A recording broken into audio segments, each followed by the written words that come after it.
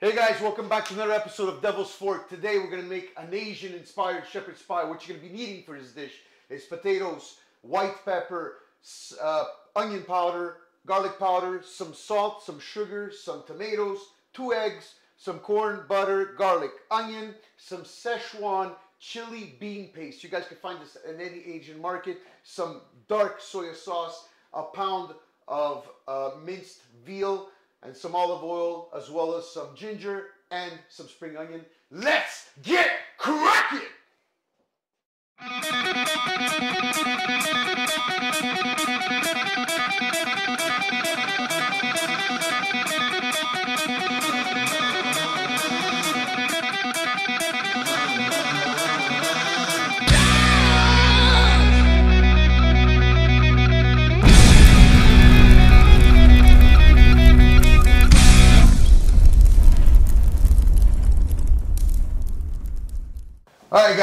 So here we are today. I'm going to show you guys how to make an inspired, Asian-inspired shepherd's pie with a bit of a kick to it. But there's a little twist to the story today. I invited one of my top fans, 13 years old, Alessio Bruno. He's going to help us how and show us how exactly uh, if if I even know how to cook. Uh, so he's he's gonna he's gonna yes. So let me introduce Alessio Bruno. Come in. Let's get cracking. Oh yeah, baby.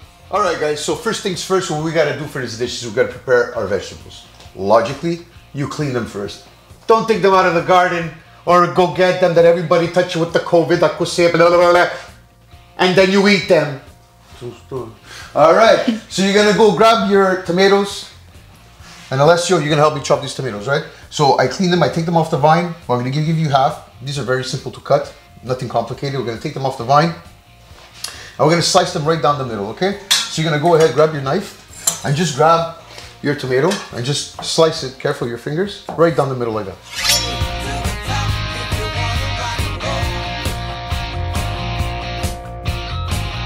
I'm using about 12 cherry tomatoes. Why do I use cherry tomatoes on the vine? Because it's much more savory and you need savory stuff in a dish. You're not gonna put agatrama, all right? So you keep slicing those tomatoes down Okay, so we finished chopping our tomatoes. Thank you, Alessio. You did a good job, by the way. You're welcome. Nice guy, this guy. All right, so we're gonna take our tomatoes and we scaff them on a plate because it's the devil's fork. We scaff things on a plate! All right, now we're gonna grab our onion. Clean the onion, Alessio. Show these people how do we clean an onion. We're gonna cut straight the butt now. Then the other side. And then a little groove on the side. We're gonna slice right down the middle and we're gonna grab just little strands like that, okay? So little strands and then we're gonna go ahead and just rock a knife right through it.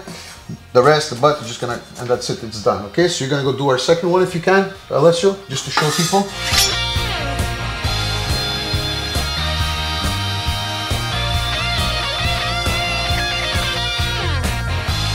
Okay, so we chopped minced our garlic. What we're gonna do is we're gonna grab our garlic, uh, sorry, we chopped and minced our onion, Ramadan. Sorry guys, I had a few whiskeys yesterday. All right, smash that garlic down and just take that skin and it should come off very easily. And then you'd go like this. Oh, that's it, it's done. Okay, so next one, you're gonna like this, you're gonna go like this, you're gonna go like this, then you're gonna go like this, you're gonna go like that. Okay, it's done. then you're gonna chop the butt, take the butt off, huh? You take the butt off, come, come closer, don't worry, I didn't fart. Come closer. So we're gonna take that and then we're gonna roughly chop that garlic, okay, because we need a bit of flavor. So we roughly chop it one way and roughly chop it another way, and that garlic is perfect to go into our dish, okay? With that said, we're gonna need some spring onion. Guys, spring onion, um, we're gonna use two in our dish and we're gonna use one for topping, okay? So what we're gonna do is we're gonna clean our spring onion. So we're gonna grab these two here, and you see the skin that's here? Mm -hmm. You're gonna just take this and you should be able to pull it off completely. And that's, that's we don't want our first skin because that first skin is bitter, so we don't put that in our dish, okay?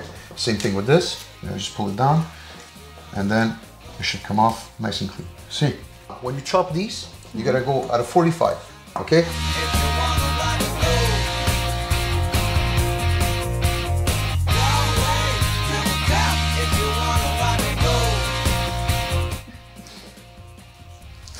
Rock your knife. Keep the tip down and your bottom that goes up and down.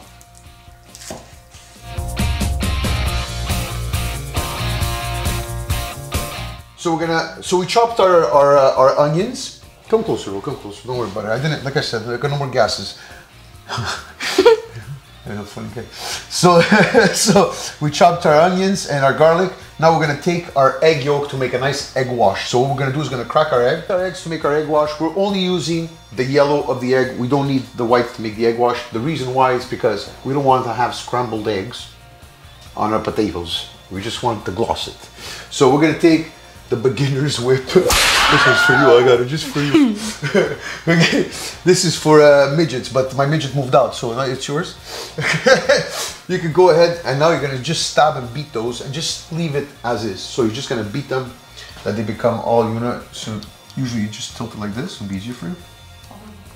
Take that egg wash. We'll put it aside. We don't need it right now.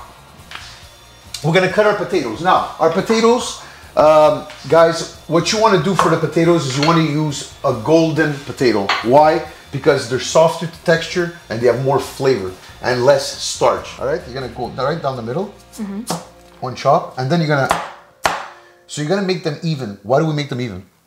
Uh, so they could cook the same. This kid. All right. So you're gonna keep doing that. One, two, okay? You can use the big one for this. I'm gonna take them as you chop them and put them in the pot, okay?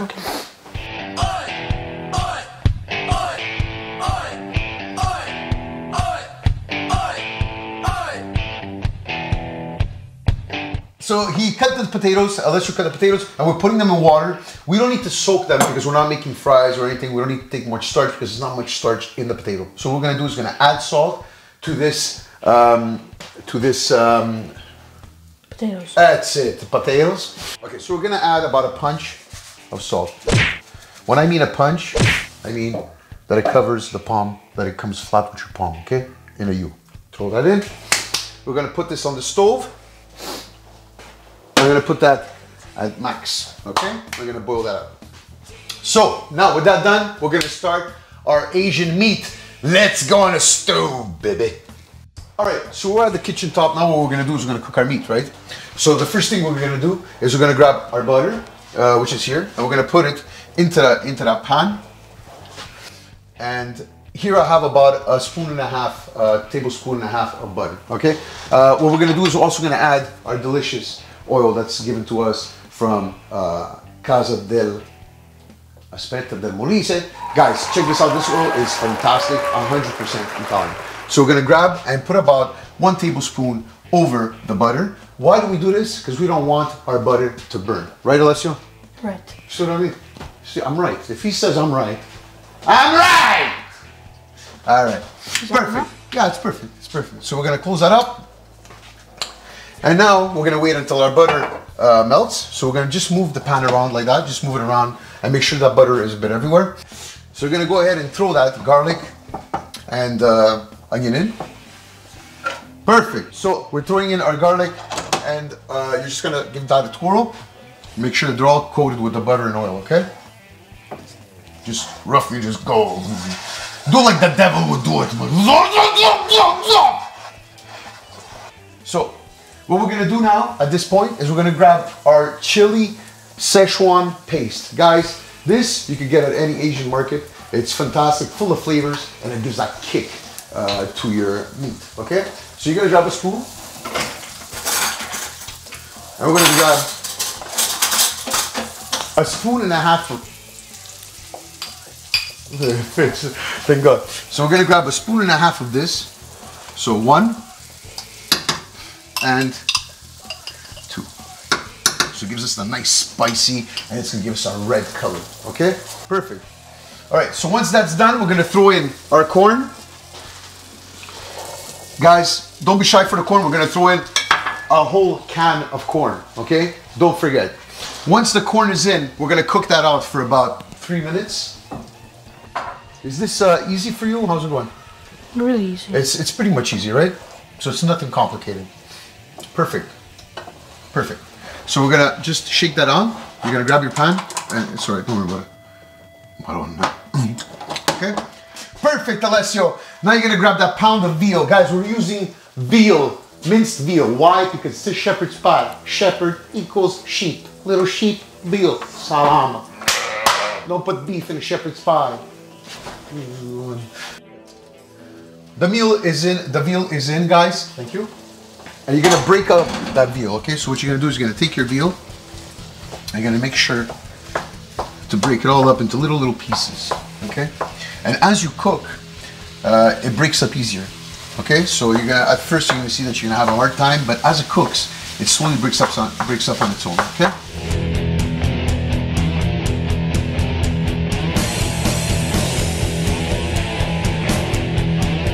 All right, guys, so we're halfway through done. What we're gonna do is now we're gonna add our dry ingredients. So we're gonna add some salt and just a little bit of salt because we're putting soy sauce to this. So I'd say about a teaspoon of salt, not more than that, all right? Sugar, we're gonna put about a, um, a teaspoon of sugar. We're gonna mix that in. Onion powder, we're gonna put about two teaspoons of onion powder. a teaspoon and a half of garlic powder. And just put a pinch of the white pepper. At this point, we're gonna take our ginger and we're gonna grate that ginger into our dish, okay? So you're just gonna step aside two seconds a time. You go. Just, okay, we're gonna grab our ginger and you like ginger, right? Mm -hmm. So we're gonna put quite a bit of ginger and ginger is very healthy for you. And Alessio loves ginger, so ginger, you're just gonna go ahead and keep doing this, okay? Don't go too close to the fire because I don't want you to get burned, okay? Go ahead.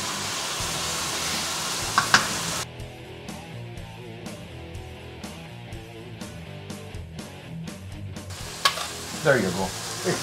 He's a natural, man. I love this kid. Mwah!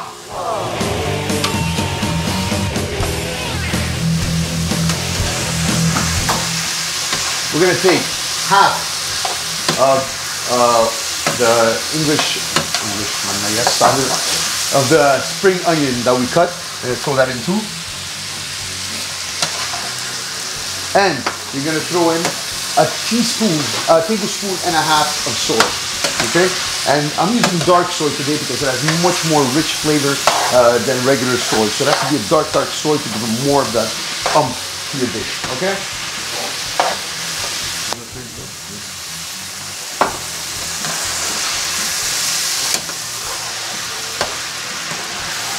All right. So we're gonna cook this out for about three minutes. After the three minutes is up, I'm gonna show you guys how to make your mashed potato. We should be good to go. See you soon. All right, guys. So our potatoes have been cooking. Our meat is done. What I want you guys to know is, I had a question that Alessio asked. Alessio, what did you ask me before? What question did you ask me about the potatoes? Uh, when you cook them, like, how do you know if they're when they get ready? So how do you know when they get ready? See, usually people just stab the potato. They're like, oh, when it goes through and it breaks up, it's ready. No, because uh, some potatoes, you'll even if they're semi-cooked, they'll split. So what you do is you're gonna grab your fork, grab your potato, push it to the side, and squash that potato to the side. If that potato squashes and it gives you automatically this that looks like a kind of mashed potato, your potato is done. Okay? So that's what we're gonna do. You're gonna grab that sieve now. We're gonna strain our potatoes. And now we're gonna put a good amount of butter.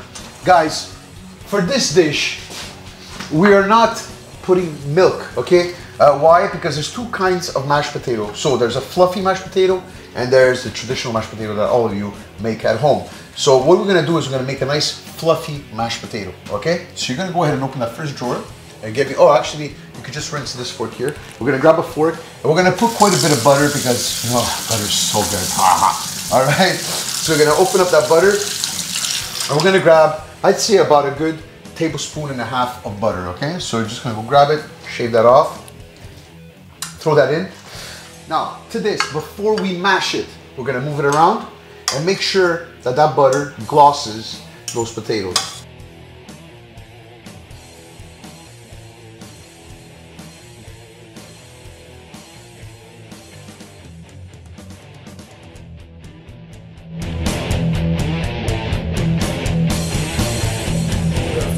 So we put in our salt and we put in uh, our butter. We're just gonna mash that all together. Just gonna mash that. You wanna get me the, uh, the onions? Okay, so what we're gonna do now is we mash everything together and then we throw half of the rest that's left of our onions.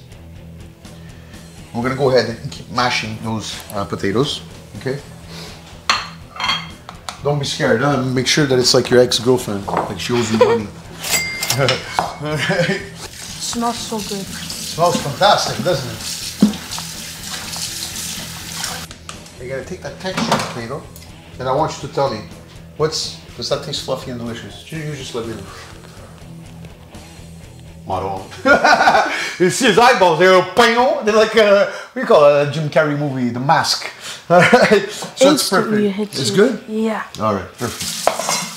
I'm not adding any pepper to this because we have all those flavors under uh, the mash, the the um, the uh, shepherd's pie, and uh, and we don't want to ruin those flavors. So those flavors are going to blend in with the potato, and it's going to be just simply fantastic. All right. So what we're going to do now is we're going to take our meat, Alessio, and we're going to just fill up our oven safe. Um, this is these these. I mean, you can get them every, anywhere you want, but uh, if you have any oven safe uh, dishes that you can use, uh, I just put it in this. It looks more fancy, but you guys could do a full shepherd's pie. It's not a problem. Okay. So we're gonna go ahead and we're gonna fill up our dishes.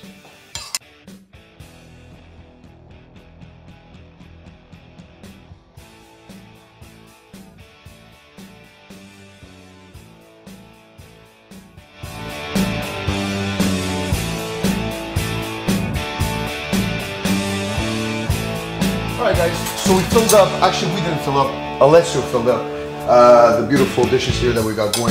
This is uh, onion soup pots. You guys can get this at Obu or uh, Ares or wherever they sell kitchen stuff. So what we're gonna do is we're gonna grab our uh, pastry bag. And we're gonna take our bag and we're gonna go ahead and wet our spoon. This is a trick so it doesn't stick. Okay. You're gonna grab it and put your potatoes in that bag, but Okay, so you're gonna grab that you're gonna okay, you just got so you're gonna go ahead and squeeze that through. Go around the edges.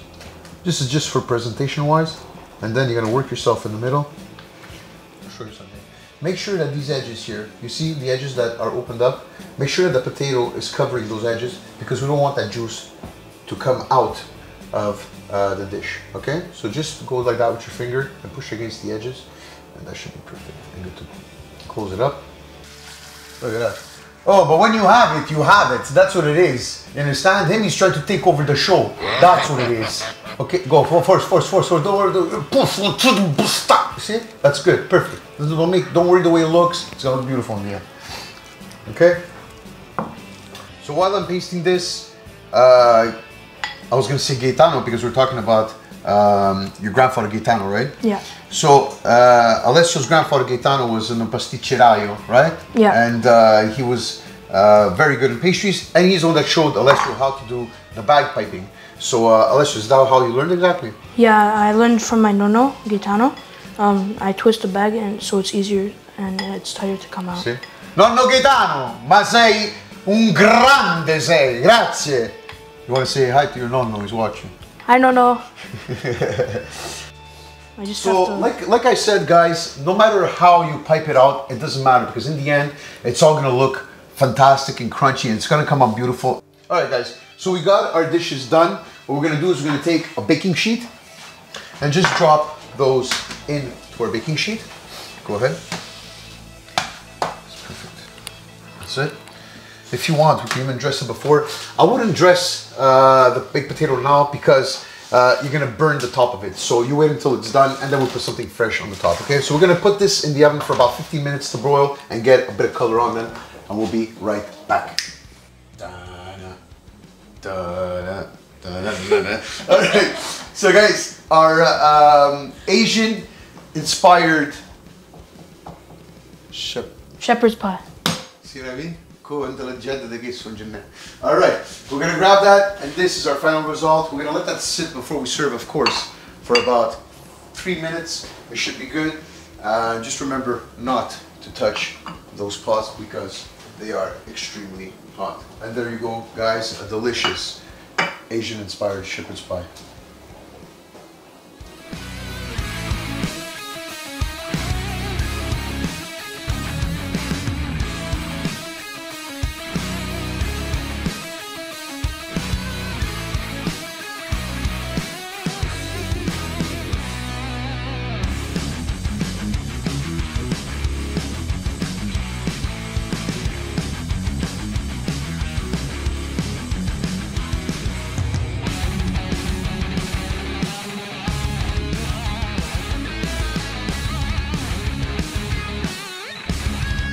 All right, guys, that was an amazing dish. Let me tell you.